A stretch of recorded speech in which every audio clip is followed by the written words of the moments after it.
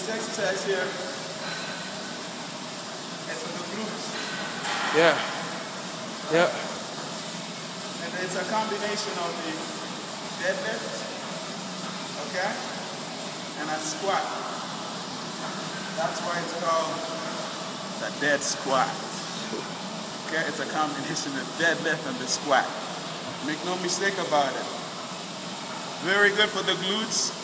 That's the primary muscle. Secondary muscles, muscles are the quads. That's what you get. Watch how I do it. Watch it carefully. Just like in a deadlift, elbows gotta be locked, straight. Because if you bend your elbows, you throw yourself off and you lose your balance. Elbows have to be locked just like in a deadlift. And then you need to go down as low as you can as you would in a squat. That's why it's a combination squat and a deadlift. So watch me do it. Sometimes I tie these two together as such. I actually make a knot. Do you see me making the knot?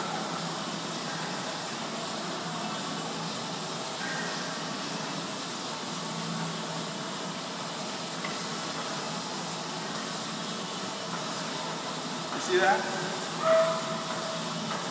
So now I can anchor that with the straps and let the straps help me grip it so that I don't have to worry so much on my grip. Since this bar right here is very thick, as you can see it, so I would anchor it as such and put my hands around it like that.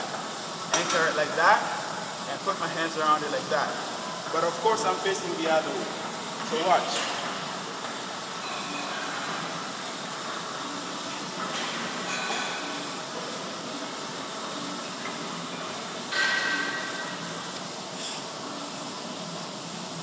Legs?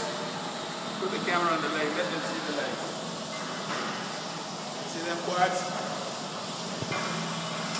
See the size of them legs? Jeez.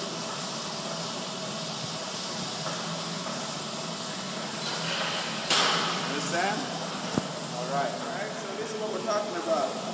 This is again the deadlift and the squat combined together, man. The dead squat. Right? From this side, dead squat.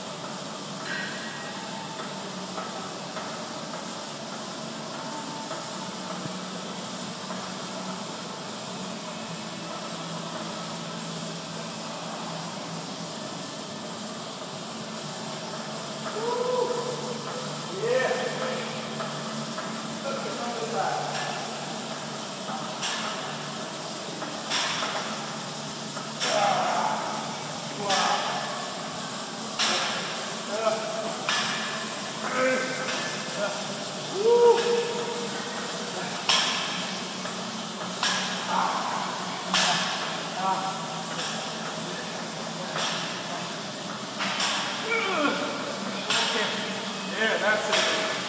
Yeah. That's right, my nigga. That's fucking right. Yeah, baby.